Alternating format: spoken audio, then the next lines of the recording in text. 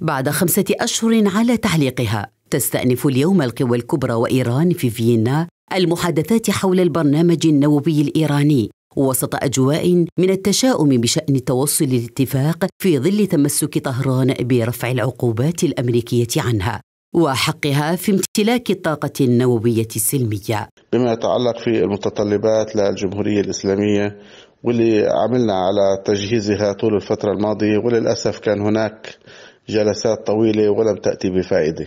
نتمنى أن هذه الجلسة تعطي نتيجة ولكن هذه النتيجة يجب أن تكون مضمونة. بدون ضمانات لن نعمل بشيء لن يكون هناك أي إجراء ولربما لن يكون هناك جلسات مستقبلية. بريطانيا والكيان الصهيوني يعلقان أهمية كبرى على محادثات فيينا. على اعتبار أن فشلها يعني دفن المعاهدة الدولية للحد من انتشار الأسلحة النووية. أمر يقلق الكيان الذي يريد الانفراد بالأسلحة النووية للمحافظة على التفوق العسكري في منطقة الشرق الأوسط.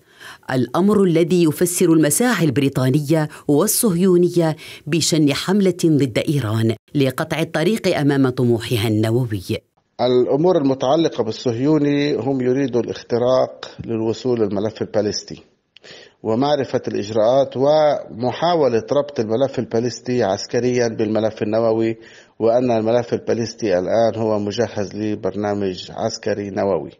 هذا ما تريد إسرائيل أن تحاول أن تصيغه بشكل أو بآخر في الأثناء رفضت الخارجية الإيرانية إجراء مباحثات ثنائية مع الوفد الأمريكي وقال المتحدث باسمها سعيد خطيب خلال مؤتمر صحفي إنه على الأمريكيين رفع العقوبات المفروضة على إيران منذ عام 2015